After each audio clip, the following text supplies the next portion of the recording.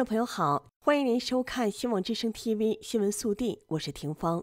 首先来看今天的头条新闻。近日，外联出国顾问集团在海内外知名度很高的移民中介公司老板何梅出事的消息一传开，立刻引起中文社媒圈议论纷纷。外联出国的主要业务不仅包括海外留学、就业移民、亲属移民、婚姻移民。海外投资移民更是其主打的热门项目之一。在美国的海外华人新闻在线交流群群主艾凡尼告诉美国之音，从不同渠道获得的外联出国内部消息称，公安部索要的客户名单等相关资料已经被迫交出，其中的有钱人可能资产难保，一些赚到大钱的富人，其中有暴富的商人、政府官员，没及时润出去，资产还留在国内。他表示，这些人不能像真正的权贵阶层那样，不必通过移民中介或地下钱庄倒换外汇。艾凡尼说：“但是据我了解的情况是，可能就是有相当一部分人，他还是温水煮青蛙吧，还没意识到这件事情这么严重，还抱有希望。我在这里赚了钱，小孩或亲属啊，在外面花，这种人没有出来，这次肯定是跑不掉了。”因为何梅已经把单交了，就是十几亿呀，二三十亿这种还从何梅手里过的这部分人，如果没出国，他等于国内资产全部没有了；如果出国了，超大的资产肯定也会被中共追杀啊。他这个平台虽然大家也都知道这个名单交了，其实他也是迫不得已。但是如果后面透露的细节，包括他在国外的哪些钱在什么地方，这种的话。这些人估计不知道会不会报复何梅，反正何梅现在是蛮惨的。十八号网传视频显示，中国某开发区实验小学集体学习反间谍法，称争做安全小卫士。网友评论称，邪恶的中共可以把人民的孩子当成人民的软肋，也可以把人民的孩子培养成监视人民的工具。关于什么是爱国，我们一起来听听下面这个小伙是怎么说的。其实很多人把爱国与叛徒给偷换了概念，去指出这个社会的不足，提出批评意见，督促社会进步。这样的人是叛徒吗？不是，在我眼里，这叫爱国。我们大多数人注定是离不开，也不愿意离开自己祖国的。所以我们要想办法去让它变得更好，我们要想办法去表达自己的观点，要去督促进步，因为我们的目的是提出矛盾，并且去解决矛盾，让社会矛盾在萌芽之处就被扼杀。比如农民的问题、贪官的问题、食品安全的问题，我们要去正视这些矛盾，并且提出解决意见，这叫什么？这叫爱国。什么是叛徒？什么是幺四五零？什么是行走的五十万？那些不允许你提出批评意见的人，才是真正的叛徒，是汉奸，因为他们的根本目的是隐藏矛盾，让矛盾萌芽，让矛盾无限发展，最后尾大不掉。比如你说我们的食品存在安全隐患。他们就会说，你就是行走的五十万，我们的食品怎么可能存在安全隐患？我们怎么可能存在贪官？这些外部势力最根本的目的就是放任矛盾激化。自古以来忠言逆耳，真正那些提出问题并且提出解决问题方案的大臣，只会被那些溜须拍马、只会大唱赞歌的太监所诬陷。我们现在有两拨人，一拨人忠言逆耳，但却热爱着这片土地；另一批人大唱赞歌，粉饰美好，但却行龌龊之事。观众朋友，您赞成他的说法吗？欢迎您在留言区留言。谈谈您对这个问题的看法。十八号早间，SOHO 中国披露二零二三年中期业绩显示，今年上半年归属母公司所有者的净利润同比下降约百分之九十三。根据公告，截至六月三十号，SOHO 中国的营业收入约八亿两千一百五十万人民币，同比降百分之八点三二，净利润约一千四百七十万元。同比减少约百分之九十二点四，归属于母公司股东净利润人民币一千三百六十一万三千元，同比下降百分之九十二点八六。SOHO 中国的现金及现金等价物约六亿两千七百万元，银行贷款及其他贷款大约一百六十亿四千六百万元，总负债大约三百一十五亿一千九百万元。净流动负债大约是七十一亿七千万元，总资产约六百八十九亿两千万元。对于营收下降的原因，SOHO 中国表示，主要是由于办公楼及商铺物业租赁市场需求疲软。据戴德梁行的数据，二零二三年上半年，北京和上海的甲级写字楼净收纳量较历史同期都有大幅下降，同时平均空置率分别达百分之十六点九和百分之十八点六，是二零一一年以来的历史峰值。SOHO 中国是北京最大的房地产发展商之一，于一九九五年由潘石屹和张欣夫妇成立，二零零七年在港交易所上市。这个公司主要拥有北京和上海核心地带的商用地皮。去年九月，潘石屹辞去 SOHO 中国董事会主席等职务，张欣则辞去了行政总裁职务。二零一四年是 SOHO 中国的转折年，这一年这个公司停止了收购的步伐。此后，潘石屹陆续抛售旗下资产。有媒体统计，二零一四年到二零一九年五年间。SOHO 中国出售资产总计近三百亿元人民币，潘石屹卖卖卖的范围从一开始的边缘资产渐渐扩大到核心资产。二零二一年六月，黑石集团宣布将以三十亿美元收购 SOHO 中国。收购完成后，黑石将取得 SOHO 中国控股权。业内认为潘石屹夫妇此举为套现出场，但该交易遭到中共当局阻扰。二零二一年八月。中共以反垄断法立案审查之后，SOHO 中国宣布公司和黑石集团之间的交易终止。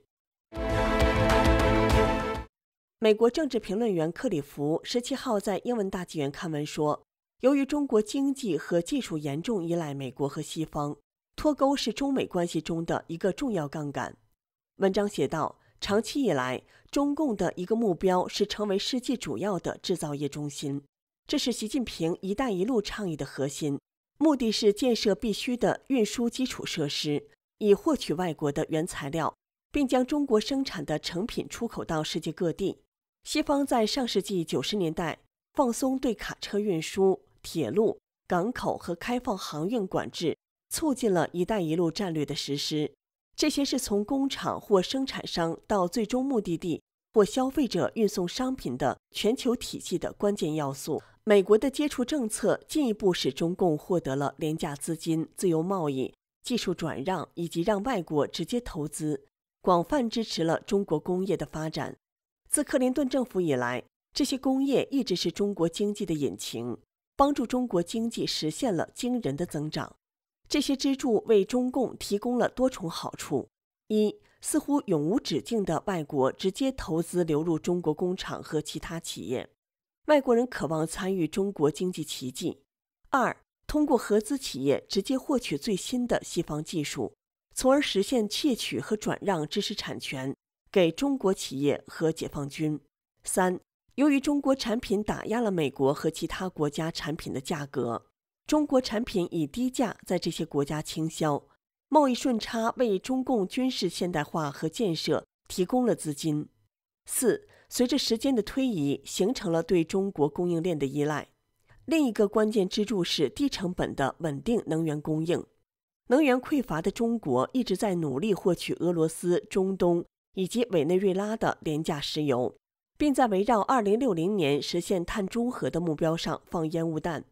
几十年来，中共一直寻求夺取从始端到终端的供应链，以谋取利润和施加地缘政治压力。因此，中国是稀土元素、制药及潜体、电动汽车、锂电池、太阳能电池板、手工工具、汽车零部件等许多产品的主要供应国。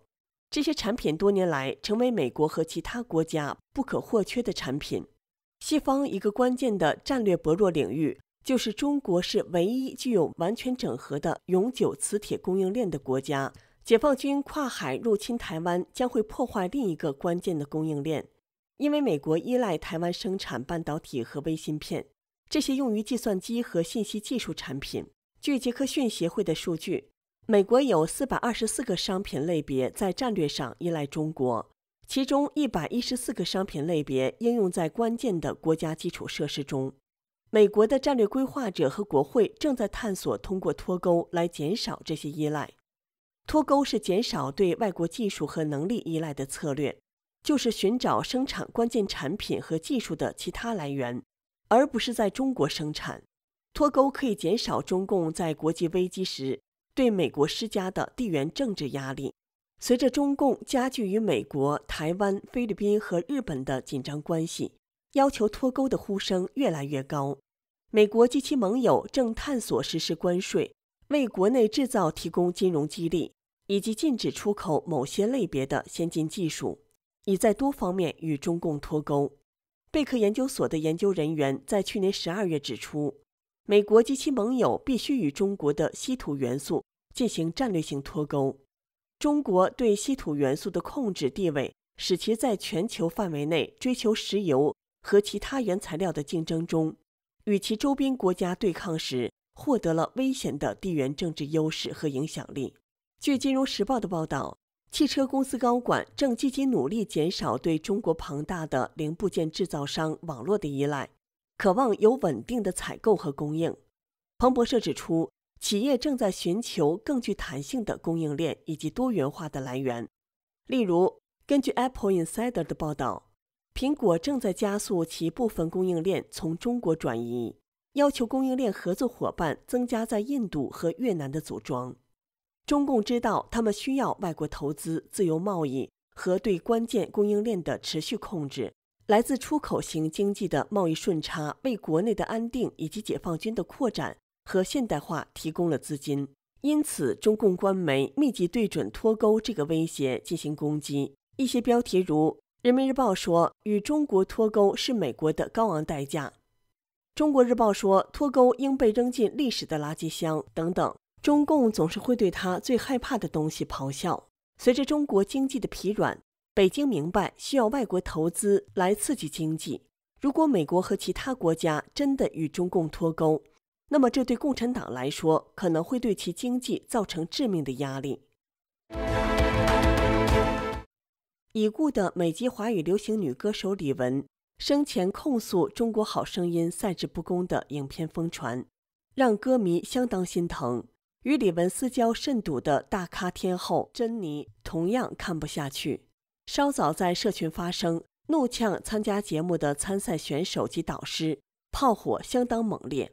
珍妮在脸书痛批：参与《好声音》的每一位都欠缺良知，为名利不择手段，即使同行也侮辱他们自己的本职，看不起。不但点名参加节目的选手。就连曾担任导师的那英、汪峰、庾澄庆、陈奕迅都被波及。珍妮是第一位大牌歌手站出来为李玟发声，更透露早就劝罹患乳癌的李玟不要接那些烂节目，好好休息，心疼对方所受的委屈。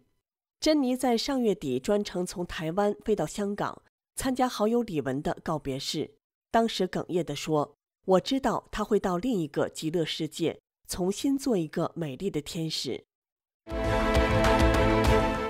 家住纽约布鲁克林的黄女士，自从今年起在八大道一家汇款公司寄钱回中国，身份疑似因此遭到泄露，被不法分子用来洗黑钱。随后也遭到美国国务院调查。十七号，他接受采访时称，虽未蒙受金钱损失，但暂且无法再用个人身份寄钱回国。护照号码也被取消，造成回国计划被打乱，相当无奈。受害者黄女士称，过去一直在这家汇款公司给位于广东的家人寄钱。今年二月起，他想要寄一笔两千五百元的汇款，因超过限定额度而改到八大道五十九街的另一家汇款公司寄钱。他提供证件和个人信息给这家公司，不久后，家人也表示收到了钱。往后几个月内，他继续使用这家公司。五月底，美国国务院的外交安全服务部门的调查人员突然找上黄女士十多年前居住的公寓，向她的旧房东打探她的下落。再三确认不会被逮捕后，黄女士与调查人员约在家门外会面。他们通过电话翻译服务与其沟通，期间对方拿出一张表格让她填写。并询问最后一次寄钱的日期、寄到哪里，以及是否寄过一笔四千九百元的款项等。黄女士回忆，二月至五月间曾在该家汇款公司寄过三次钱，但数额加起来都没有超过四千九百元。不仅如此，表格上也列出了十几家位于七大道、八大道的汇款公司名字和地址。调查人员还刻意询问他是否曾在七大道某家汇款公司寄过钱。他事后才恍然，猜测这些汇款公司都不正当，都已被列入调查名单中。调查人员最后也提到，有人利用他的身份寄了大笔钱回中国，将继续联系他配合调查，其美国护照号码也被注销，等侦查完毕后再寄新的护照。黄女士隔天到六十八分局询问，在警员确认下，证实了调查人员的身份，确有此事。警方建议她无需再到警局立案，等待美国国务院调查即可。目前，八大道和法拉盛多家外汇公司已遭到联邦政府调查。几名社区人员透露，很多外汇公司其实都不正规，像保证超过三千元金额的汇款一周内便可汇到。基本上都是骗人的。另外，所谓的不需要身份寄钱，用的就是其顾客的身份。呼吁民众在跨境汇款时要特别注意商家的可信度。今天的新闻速递就为您播报到这里，感谢您的收看，我是婷芳，我们明天同一时间再见。